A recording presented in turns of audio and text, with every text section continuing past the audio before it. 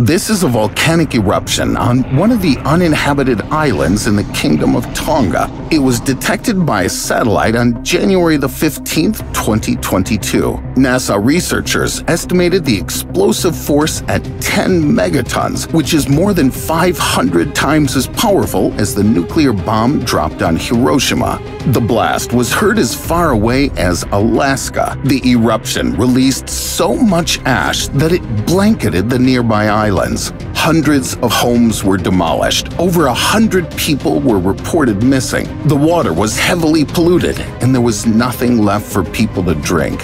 However, it's hardly surprising that the volcano became active. It's erupted regularly over the past few decades, but none of its previous eruptions can be described as large scale. It just spewed magma and steam. A really powerful eruption occurs every thousand years. In this video, you'll find out why was the blast wave so powerful? What are the casualties of this volcanic activity? And most importantly, was it the last eruption? What happened to the island where the volcano is located? The islands that form Tonga lie along a subduction zone where one part of the Earth's crust dips under another. There's regular volcanic activity. In late 2014 and early 2015, layers of magma and ash formed a platform. It rose up out of the sea and filled the space between two uninhabited islands. A new island was formed, known as Hunga Tonga Hunga Ha'apai. Scientists later discovered that beneath the water column there was a huge caldera, a crater-like trench with a diameter of approximately 5 kilometers. Minor eruptions of previous years occurred mainly at the caldera's edge, but the latest one came from the caldera itself. That's what made the blast so massive. Eventually, the island of Hunga Tonga Hunga Ha'apai disappeared as suddenly as it appeared. Why didn't seawater cool the volcano volcano down.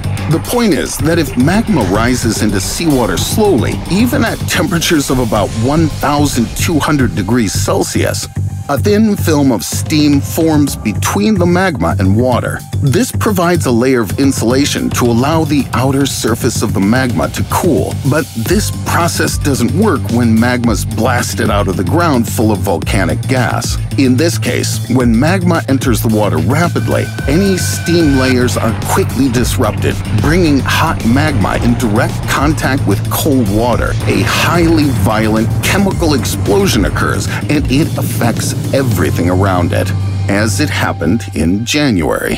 What happened to the nearby islands? No more than 40 islands in Tonga are inhabited. Those not affected by the blast were affected by the tsunami. Atata and Mango were flooded the most. Severe damage was done to the coastal part of Tonga's capital, Nuku'alofa. The tsunami waves carried an additional threat shards, debris, and stones. Later, the entire capital was covered with a two centimeter layer of ash. Almost immediately after the eruption, one of the most densely populated islands of Tongatapu disappeared in a cloud of ashes as a pillar of dust and stones rose 39 kilometers into the air. Satellite images of the island of Nomuka showed that one-fifth of the buildings were damaged. The Tongan Maritime Force, which was sent to the Ha'apai Islands, reported a tsunami up to 10 meters high. The waves spread out 500 meters inland.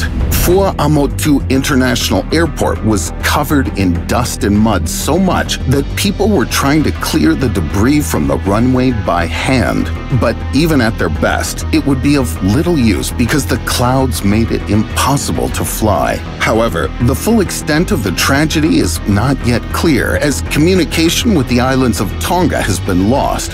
What happened to the people? The islands of Tonga are interconnected by a communication network. However, all communications stopped shortly after the explosion as some submarine cables appeared to be damaged. Despite that, in the first days after the event, there were 150 missing persons reported. All those people were residents of Atata and Mango that were literally washed away by the tsunami. The king was evacuated from the royal palace to his villa, while people on other islands made every effort to get to higher ground by cars, creating traffic jams. Two days after the eruption, Tongan officials asked for help to provide their citizens with fresh drinking water and food.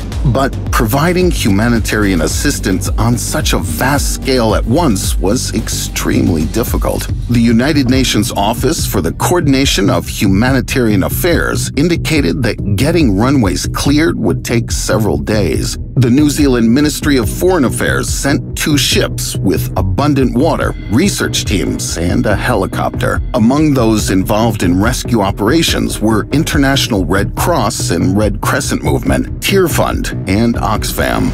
The latter installed filtering units in Tongatapu that can turn salt water into drinking water. This greatly relieved the local population, as all drinking water was contaminated with ash. Other governments joined in the rescue of Tonga Fiji, Japan, China, Singapore, Australia. It would be strange if they didn't, because the eruption affected the entire planet.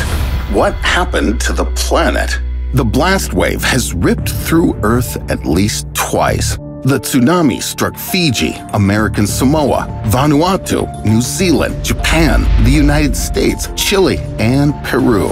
At least two people died in Peru when the coast was hit by a wave two meters high. They just didn't have time to get out of the car. The infrastructure in the Fiji Islands was severely damaged. Japanese cities lost dozens of ships and one person drowned during the evacuation. Several Californians were swept away by waves after ignoring warnings from the authorities. The ash cloud reached Queensland in Australia, creating a terrifying and breathtaking sunrise. In addition, meteorologists on the other side of the Earth in Europe reported spikes in atmospheric pressure.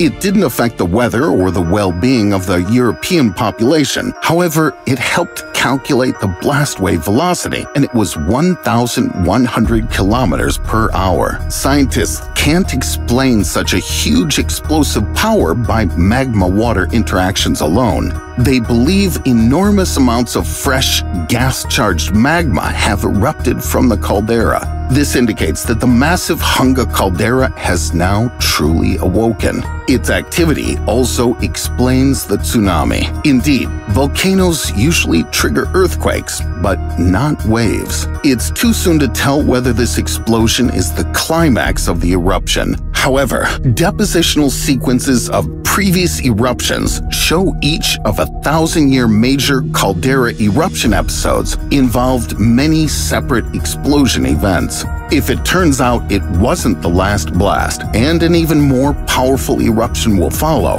who knows what will happen? Perhaps the climate on Earth will change dramatically. Or maybe, write your thoughts in the comments.